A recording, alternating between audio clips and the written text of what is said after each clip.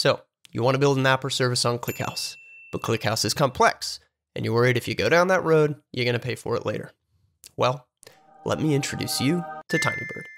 Tinybird is a serverless OLAP backend for developers. You can ingest data from a variety of sources into hosted ClickHouse tables, write some SQL, and then publish those queries as REST APIs in a flash. In fact, it's so easy to build an application backend on Tinybird that I'm going to do it right now. In less than five minutes, I will build a very basic backend for a product activity log feature. You ready? I'm ready. Let's do this.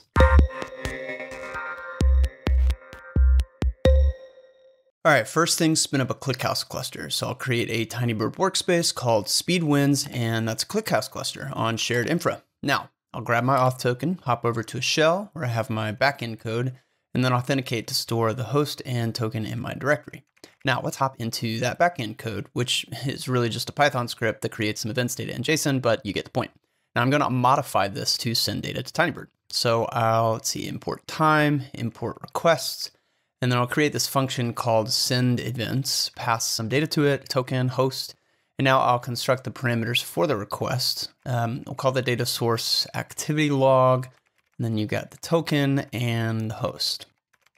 Now I'll issue that post request to the host and the events endpoint, pass those parameters and the data, and then I'll print the status code and go ahead and let it sleep for a half second between requests.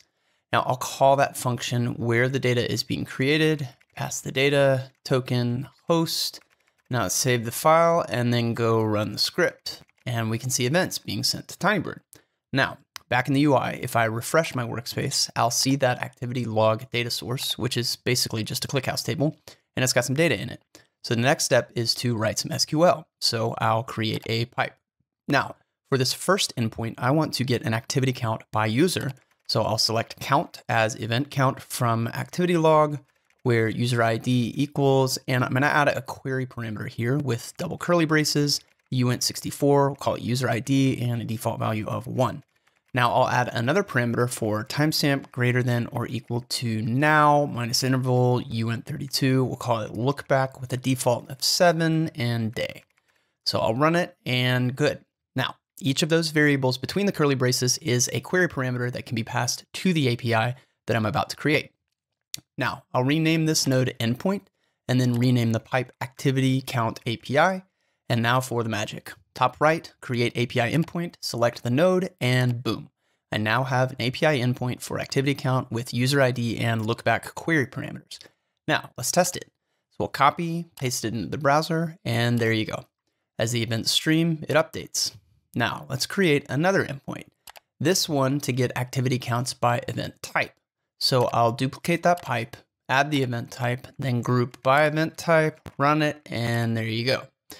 Okay, same thing, create API endpoint. And actually, let's rename this pipe. Uh, I'll call it activity count event type API. Now create API endpoint. Okay, now let's make one more endpoint to return a time sorted activity log for a user. So again, I'll duplicate the pipe and I'll do select timestamp and then construct this log message, a user, user ID, did event type, with response and response code. And now I'll remove that parameter, replace it with order by timestamp descending, and then limit to the latest 100. Now I'll run it and sweet. actually, I'm going to rename this column log message, rename the pipe to activity log API, and then publish it. And there you go. Now, let's take a look at my endpoints. So I'll go up here, share the docs, copy the link, open up a new tab, paste it, and there you go. Those are my APIs, and I can click on any of them for documentation, and I'm off to the races. Okay, so yeah, I get it. That was a rudimentary example, but I hope you saw how simple and fast it is to send data into a hosted ClickHouse table, query it with some SQL, and then publish those queries as dynamic, low latency APIs in a matter of seconds. If you're building an application or service, you need an OLAP data store, and you want to go fast, you should use Tinybird. It's the fastest way to build an analytical application backend.